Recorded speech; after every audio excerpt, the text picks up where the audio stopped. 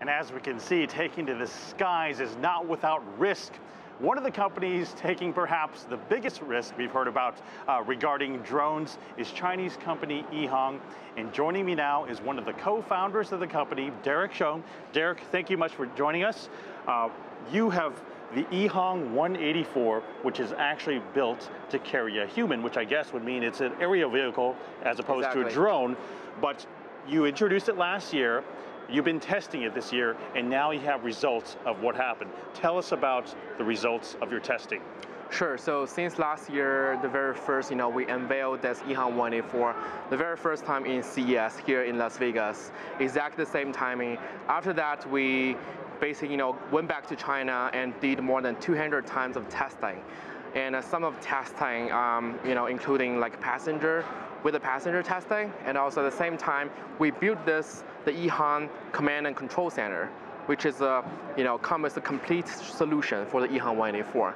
This command and control center does not only monitor the real-time data of the 184, but also can monitor the status, the speed, altitude, you know, the health level of the sensors for the 184, and provide this in-flight communication between the passenger in the 184 and the technician and engineers in the command center it's a, it's a risky maneuver by, by any, for any company to, to try and do something like this.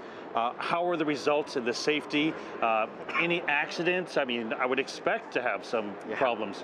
Yeah, well, there, there, are challenges all the time. There are technical um, challenges. There's sometimes we do experiences accidents as well. Um, but the good thing is that we managed to um, conquer most of the techni technical challenges. We also managed to improve, um, you know, from the propeller to the motors to the batteries, basically every part of the thing, you know, because there's not much technologies existed, you know, ready to use for us for this EHang 184. So we have to come up with our own parts, our own, you know, even testing equipment. So, um, you know, after three generations of the parts improvement, I think we are in a, you know, we're more ready for the next level. What is the main use case? I mean, you could say take an airplane, take a helicopter. Why do we need a drone to, or a UAV to carry a human? Well, because we feel like nowadays there are just like too many, too much traffic around the world.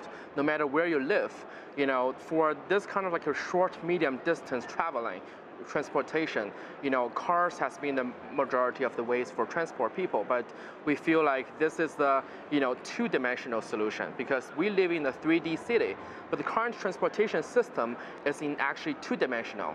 So adding the other dimensional to your upper level, make this whole transportation system in 3D will make more sense for our current living system. What are some of the safety measures uh, built into it? Because if you lose uh, control, uh, you know, how can you make sure that it's going to be a safe landing? Exactly. So one of the good things about the multi-rotor um, helicopter is that you're going to have more backup with the power.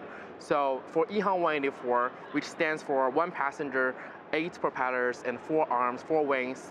There are eight propellers, you know, in total. So let's say once we lose the power for one propeller or anything happened, there's going to be the rest of the propeller to, be, to back up. You know, let's put it in this easy way. The other thing is that with this command center, the command center will be able to know the exact status of each sensors, including the GPS, including the altitude, you know, the barometer. So um, can detect the health level. So once anything goes wrong, the command center will know actually before the passenger, you know, is aware of that's how we make sure the safety of the EHang 184. You still produce consumer drones, exactly. so you know this is obviously going to be taking a lot of money to experiment for a really long-term payoff. So what is your business model right now to, to make this succeed? So we have three different product pipeline. The first one is being the consumer drone. We're selling this Ghost Drone series, the consumer drone, to you know, most multiple countries in the world. And actually, we're experiencing a, a huge, you know, um, success for during this holiday season in the States, and you can buy it in Best Buy. At the same time, we have commercial drone that's more for the, you know, public sector, you know, to use that bigger drone to carry heavier, you know, equipment or DSLR to help with the 3D mapping, to help with the inspection, and most importantly, we always want to have this dream and vision to build up this EHang 184. So those other, uh, the consumer aspects are kind of uh, uh, funding the experimentation for the human carrying drone. Yeah, you can understand that way. Okay, how about yourself? Uh, you're a co-founder. Have you had a chance to get in it into an actual drone that carries you? Yes, actually we're, we have sorry, we have done multiple times of the test with the human being uh, inside, actually. And uh, the latest one was actually two weeks ago. And we will release more videos. We will release, you know, we're trying to be more transparent with what we're doing, and we will release more videos that actually showing, you know, what we what we have achieved with a human being inside. But you yourself haven't gotten in yet, or have, I haven't done it yet. Are you itching to get in? Exactly. I'm eager. To, I'm, I mean, I'm so happy to do it, but just like the engineers wouldn't allow me to do so at this, you know, at this point in time. Okay. Anything uh, interesting in the uh, drones, the other competition that you've seen, or technologies that excite you so far? Well, I think one of the cars I'm seeing the Faraday Future, that was really cool. I mean, I'd love to get in. It's, it's also because of the EHang 184, it's also be kind of, uh, you know, the flight time for EHang 184 now is about 20 minutes. So we really hope that with the popularity of, of the electric cars, you know, the battery can get cheaper and also better. Because in that case, our, you know, we can get a better we can get a longer battery, you know, to have a longer flight time.